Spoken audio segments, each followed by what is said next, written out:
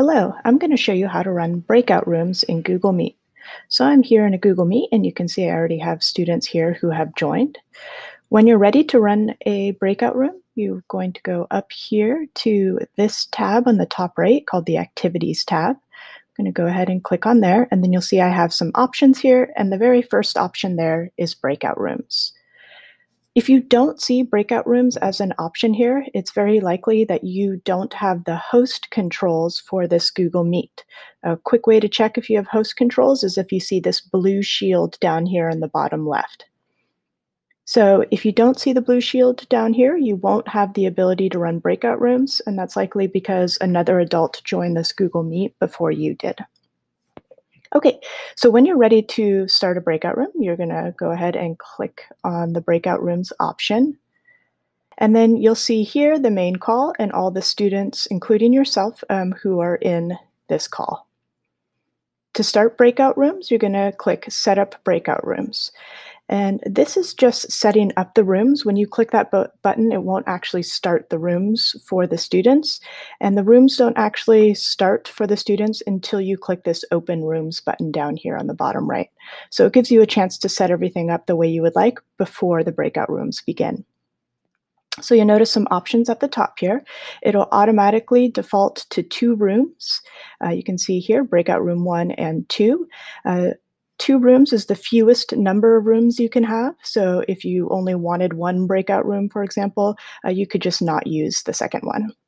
If you would like to increase the number of rooms, you can do that by just typing in a number here or using the arrows to get the number of rooms you would like. Here they are, breakout rooms one, two, and three. You can rename these rooms. So maybe, right, I have a green group, a blue group, whatever it is get the idea. You can rename these however you want. You'll also notice over here on the side this X. Um, this is if you would like to delete a room. So maybe I decide I don't want this red breakout room. I can just X that and it'll go away. The other thing that Google Meet does for you is automatically try to distribute, evenly distribute the students between the number of rooms you have. Um, so if you would like to, if if you want your groups to be randomized, um, you can always, right? So I just added a third room and you can see now it's put that other student into the third room to have equal grouping amongst the three rooms. Um, if you would like, if you want to keep it randomized, you can just stick with the groups that way. You can also shuffle. If you see a grouping that you think isn't appropriate, you can just hit shuffle and then it'll move them around. Um, and Let's see if I hit shuffle here again, you can see now it's added that student into one of the rooms. Um, most likely you have uh, specific groupings that you would like um, for the students. So a fast way to get all the students back into the main call up here so that you can then distribute the students the way you would like is using this clear button. So I'm going to go ahead and hit clear. And now you can see all the students are listed up here in the main call. And now I can either click and drag the students into the rooms. Um, you can also type the name of a student. So if I click into this field here and I start typing the name of a student, it gives me these options and I can simply click on the one that I would like. So I'm going to move this student into this room here. And now that I have my rooms set up the way I want, um, you can get started with actually opening the rooms for students. One last thing um, that you is an optional to use is the timer up here. So if I click on the timer, I can say check this box and breakout rooms after a set amount of time. And maybe I say it's going to be short. I just want them to be in there for four minutes. What this will do is it puts a timer at the top of the screen for both you and your students. So they're able to gauge you know, how much longer they have left in the breakout rooms. It will also um, do a countdown and automatically end the breakout rooms for you um, at the end of the timer. So I'm going to hit OK there. And now I am ready to run breakout rooms. So I'm going to go ahead and say Open Rooms. When I click on Open Rooms, the students will see a notification on their screen asking them to join a breakout room. It's, it says you've been invited to a breakout room, click the join button to join it. The students will have to click that join button in order to join the breakout room. What you'll see here on the teacher's end is um, these dots ind- these different colored dots indicate different things. So um, the yellow dot on my students here indicates that I assigned them to a breakout room, but they have not yet clicked the join button to join that room. And again, that join button appears on their screen. So for example, when a student joins a room, that student then is down here in um, this blue room, and you can see it has a green dot because that is the correct room that they have been assigned to. And same thing will happen when my other students click the join button on their screen to join a room. They will then um, appear in that room on the teacher side with a green dot next to their name.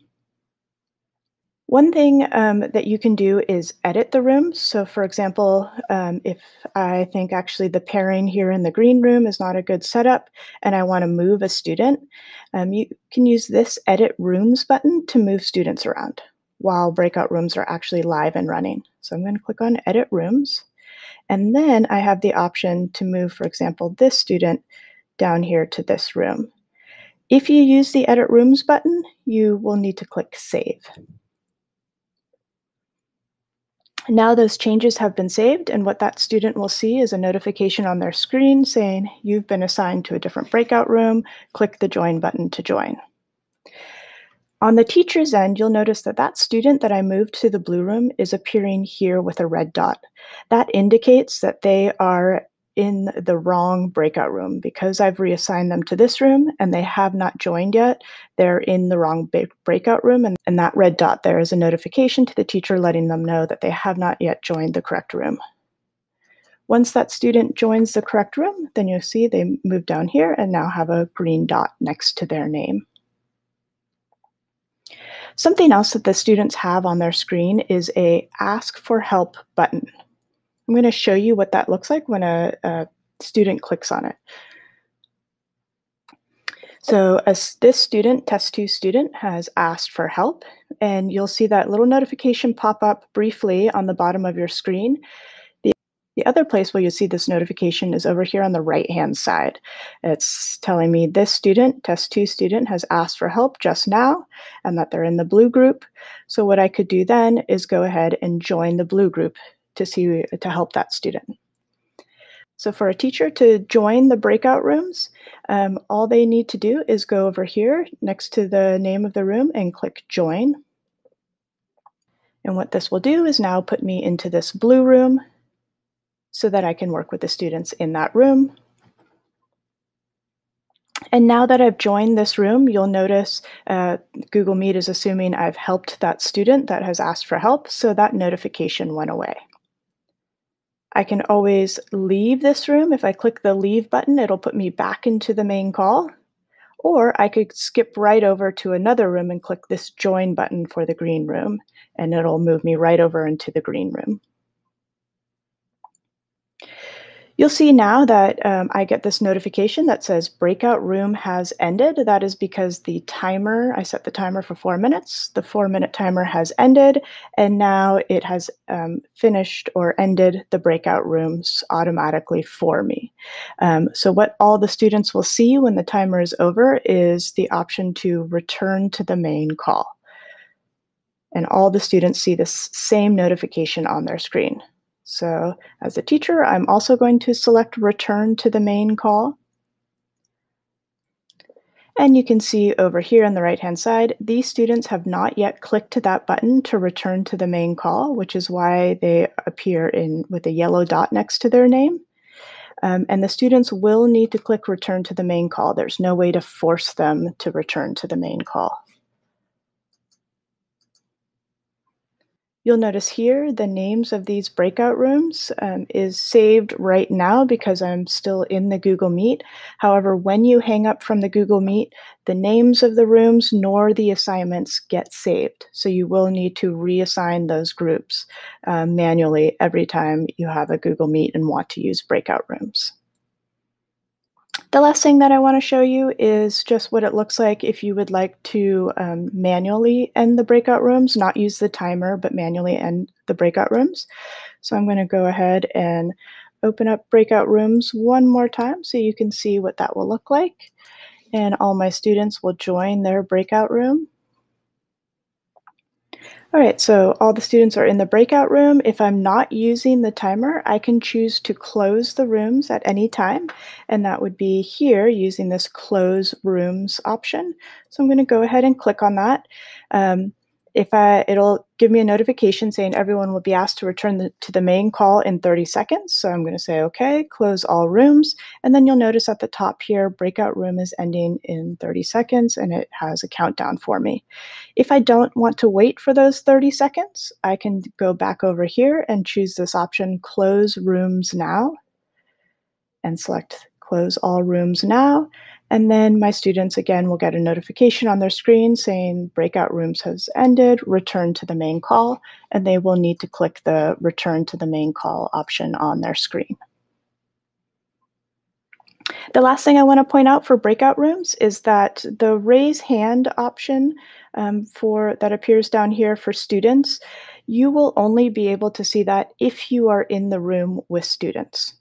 So um, I would really direct students to use that ask for help button at the top of their screen um, if you're moving between rooms. If you're going to stay in a room with students for a while, then you, um, you can instruct them to use this raise hand option. Finally, a few other things to note is um, when you post something in the chat, it only posts in the chat for the current room that you're in. There's no way to post something in the chat um, and have it appear in all the breakout rooms.